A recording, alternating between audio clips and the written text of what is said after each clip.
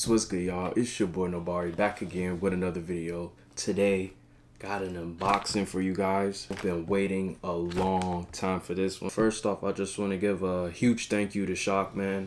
Um, I want to thank them, you know, for supporting me, believing in me, and uh, sending me this visor. Also, shout out to Green Gridiron 2. I wanted to tell you guys that I am part of Team SHOC. So you guys can use the link in the description or use code Team SHOC underscore GV to save 15% off on your SHOC visor purchases. I'm not going to get too much into detail about the visor. You know, um, I'm going to say that for the review video, but let's open this up and see what we got, y'all.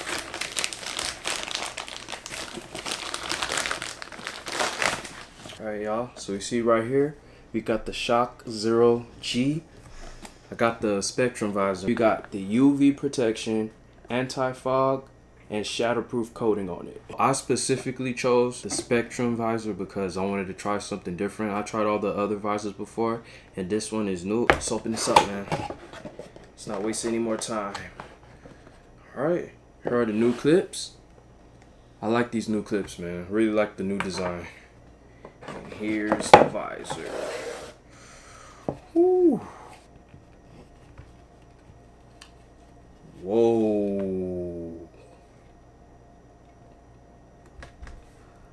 This right here is the SHOC Zero G Spectrum visor. Man, look at this, y'all.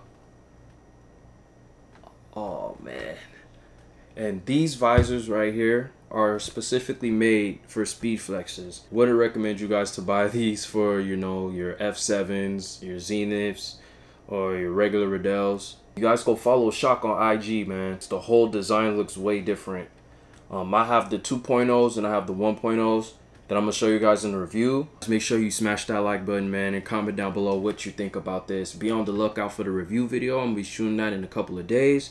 And I'm to try to hurry up and have that up for you guys. Follow your boy on IG at Nibari92 to stay updated. And make sure if you guys wanted to purchase a SHOC visor to check the link down below in the description. I'm to catch you guys next video.